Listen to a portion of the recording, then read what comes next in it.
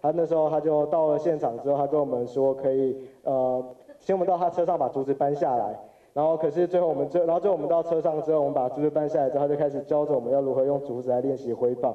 合一棒球队因为资源缺乏，教练只能用克难的方式来教球。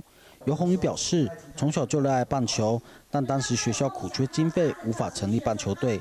他自己写企划，寻求外界捐款，梦想实践。这一路来，从反对到陪伴的学校老师，一直看在眼里。我从尤宏宇身上学到的是，好像有时候爸爸妈妈或者是老师，得要放宽心啊。我觉得那本来就是生命的历程，就是这样。国中没有棒球队，学校说没有钱，我就去募款。好了，国中三年念完了。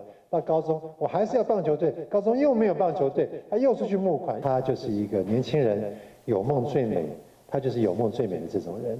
呃，所以我们要鼓励年轻人勇于做梦。除了实现棒球队的成立，尤宏宇也在老师因材施教下，透过特殊选材计划，顺利录取就读清华大学。他在书里提到，身旁有许多原住民同学，身上有许多天赋，希望他们可以利用自己的优势，寻找机会。如果是原住民的同学的话，他们第一次就他们很快的就可以进入状况，然后再有很好的表现。那其实另外就是他们非常的愿意在付在棒球这块上做付出。我觉得就是当你有什么想要完成的事情的时候，先去尝试看看。那尝试之前，你可以先呃先仔细的想一下这件事你要怎么完成，然后如果。